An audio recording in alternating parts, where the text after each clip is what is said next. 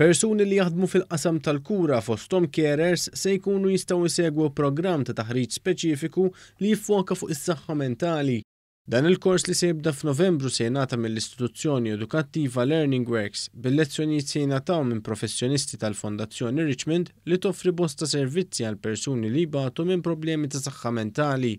Il-Kap Eżekuttiv tal-Fondazzjoni, Stefania De Mexant, saħqet li l-professjonisti tal-Fondazzjoni se jgħaddu t-tagħrif li ġabru tul iż-żmien lil bosta ħaddiema fil-qasam tal-kura u lil dawk li jaspiraw li jidħlu f'dan il-qasam bħala care workers. Il-qasam tal-kura fi kwalunkwe settur, il-bażi tiegħu hija l-persuni li qegħdin joffru s-servizz u għaldaqstant it-taħriġ huwa mill-iktar importanti.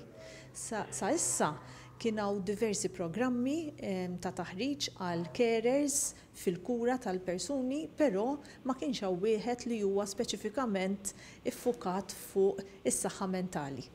Il-Kummissarju għas-Saħħa Mentali John Cachia qal li l-programmi bħal dawn jimxu id f'id mal-istrateġija l-ġdida għas-saħħa mentali mħabbra mill-Gvern. Dawn huma l-programmi li għandna bżonn biex inkomplu nżidu n-numru ta' persuni mħarrġa fil-qasam tas-saħħa mentali biex ikollna workforce imħarrġa, workforce li tifhem, tagħder, tisma' u tkun kapaċi tmexxi u timxi ma' nies li għandhom diffikultajiet. Il-Kap Eżekuttiv ta' Learning Works Charlo Bonnici qal li l-programm se jsaħħaħ il-ħiliet tal-ħaddiema bil-kwalitajiet meħtieġa sabiex persuni bi problemi ta' saħħa mentali jingħataw l-appoġġ u l-kura adekwata. Dan huwa kors ta' erba' xhur ta' Livell Erba' fuq il-qafas tal-kwalifiki nazzjonali, jiġifieri jiswa daqs A-Level biex niftehmu.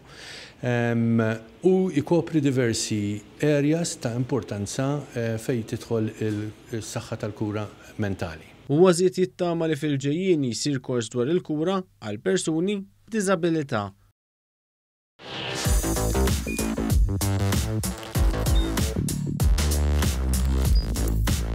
Idħol fuq one dot com dot mt u hemmhekk tista' tara l-programmi kollha li jixxandru fuq one permezz ta' one play.